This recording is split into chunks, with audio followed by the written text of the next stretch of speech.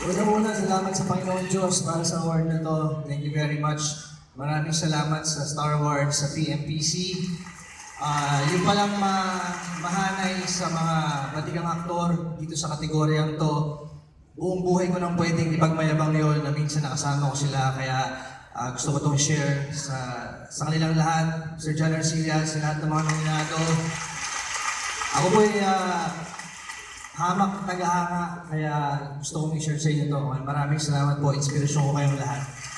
Ah, maraming salamat, syempre, unang-una sa mga aking mga producers, Vico Films, Victor Rosario, Vincent Del Rosario, Direct Joel Lamangan, maraming salamat po. Ah, Direct ah, Julius Alfonso, ah, Tita Hermigo, Ah, maraming salamat kay ah, Ma'am June Rufino. Thank you very much. Sa manager ko, Popoy Caritativo. Thank you very much. Um, sa pamilya ko, ah, magulang, kapatid, mga minamahal sa buhay, sa mga inspirasyon. ah, thank you sa pagmamahal, pag-aalaga. Kay Jeneline, thank you very much. Sinishare ko itong award sa kanya. Ah, nalulungkot ako na wala siya dito, pero congratulations din sa'yo. Ah, thank you sa inyong lahat na nandito, sa lahat ng mga lumalabas, gumagastos para manood ng sine. Maraming salamat.